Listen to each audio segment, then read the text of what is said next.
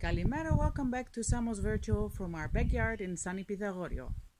Today, for the fourth year in a row, the Samos Pythagoras Cup Brevet is organized, which is a bicycle tour of 200 kilometers all around the island. I am definitely not able to bike around the island for 200 kilometers, but it did give me an idea of showing you something else today from Samos. Not a place to see, but one of the most well-known souvenirs from Samos. Those of you who have been to Samos before most likely have one of these souvenirs at home already. And for those of you who have never been to Samos before, you will definitely see them in all kinds of colors and even sizes all around the island.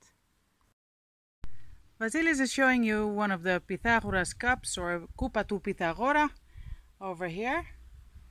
As you can see there is a little tube sticking out in the middle and there is also a line visible on the inside of the cup.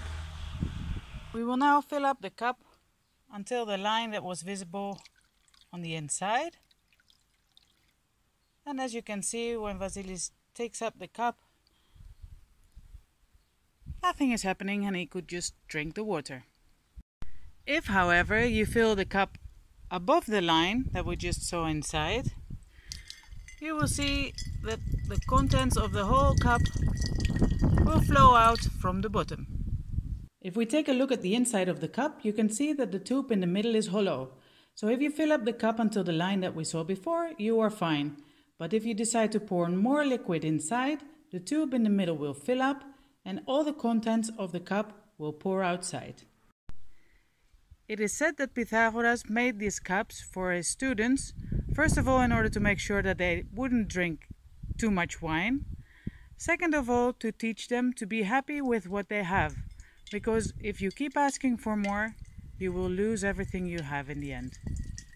This is also why the cup is also called the cup of justice or the fair cup.